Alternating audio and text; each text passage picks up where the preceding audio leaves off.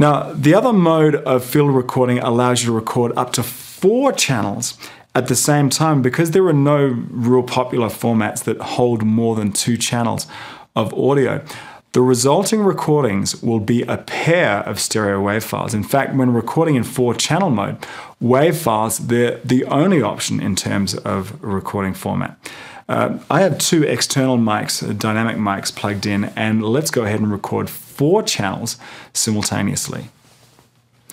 Press menu, and you can go up to the mode here, press that, and here are the three modes that we can select from. We'll select the four channel, and press the dial. And then when you go back to this screen, you can see the four channel reflected up here. So we'll go ahead and press record and voila, we have two stereo level meters and, and all of the inputs here are lit. You have independent levels on each of these guys here. If we press mic, then you're setting levels for the microphone levels, that's the inbuilt mics there. Press either one of these guys and you're setting the input level for the two inputs. So pressing record again will start recording two stereo wave files. And once you've created a number of recordings of these four track recordings, you can select which one you want to play back by using the folder and file buttons on the front panel. Press File, which is the second shortcut button here, and you'll see all the recordings that have been made in this particular mode. Note that there are actually two WAV files recorded for every four channel recording, but it only seems like one is shown here. Actually, if we were to look at the files that are on the card by placing the card into a computer card reader or even connecting the H4n directly via USB, you can see that there are three folders on the SD card. One for stereo recordings, one for four channel recordings, and one for the multi-track recordings.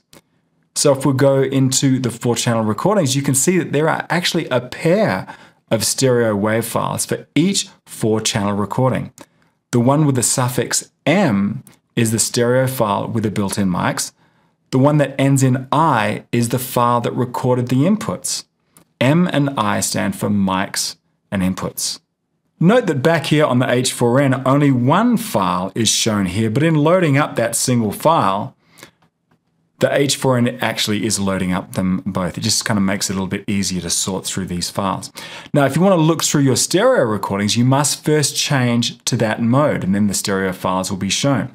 So for example, if we hit file here, it seems like our stereo files aren't there. Well, you first need to change the mode. So I'll go into menu, mode, stereo, and now pressing that same file you can see here are all our stereo files.